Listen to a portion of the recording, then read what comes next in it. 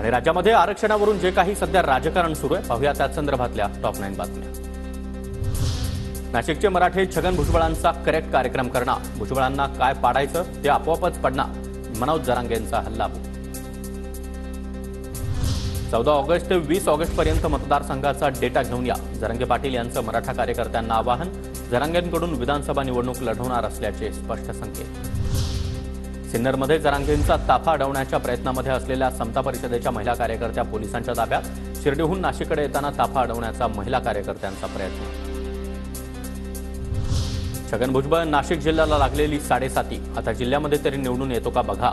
नाशिकमधील रॅलीतून मनोज जरांगेंचा हल्लाबोल सरकारच्या निर्णयाची एकोणतीस ऑगस्टपर्यंत वाट पाहणार. त्यानंतर निर्णय घेणार मनोज जरांगेंचा इशारा. मागच्या दारांना आमदार झालेल्यांना आरक्षणाचा प्रश्न कळणार नाही. त्यांनी ग्रामीण भागात फिरावं. फडणवीसांनी हात टेकले तर हे कोण? मनोज जरांगे पाटलांची प्रवीण दरेकरांवर टीका एकदा मुंबईला जाऊन यावंसंच वाटतंय. दोन कामं करायची आहेत एक निवडणूक लढवायची तर दुसरं मुंबईला चक्कर मारायची. मनोज जरांगेंचा पुन्हा एकदा मुंबईवर धडक देण्याचा इशारा. मराठा समाजासोबतच धनगर लिंगायत आणि मुस्लिम त्याचबरोबर भटक्या समाजाच्या आरक्षणासाठी आमची मार्ग काढण्यासाठी सहकार्याची भावना कायद्यामध्ये बदल करणं गरजेचं. मराठा आरक्षणाबाबत बोलताना सुप्रिया सुळेंचं वक्तव्य.